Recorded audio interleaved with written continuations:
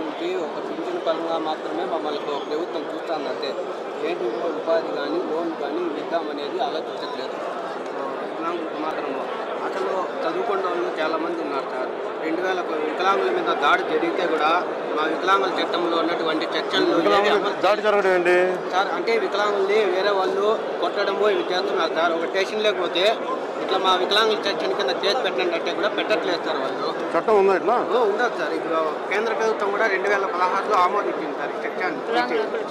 చట్టాన్ని ఆమోదించింది సార్. ఆమోదించింది.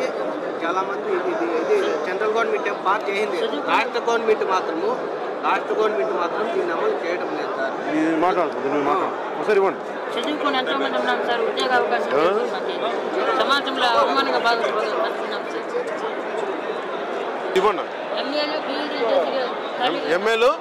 బీఈడీ చేసి- మీరు బీఈడియా ఎంఏ బీఈడీ ఎకనామిక్స్ చేశాను సార్ ఎస్ఐ ఎస్యూలు చేస్తారా మీరు? నేను సార్ నే- షాపు నేను కూడా రుణం కోసం వెయిట్ చేస్తున్నాను సార్. మీరు నేను ఎక్కడ చదివారు డిగ్రీ మీరు? ఇంటర్ మీరు?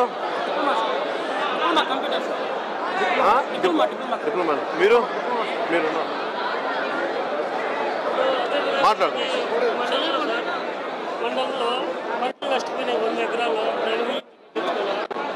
పెన్షన్ తప్పకపోతే మిగతా ఏమి ఆప్షన్స్ ఏంటి? ఏమి చదువుతాం గుర్తించలేదు లేదు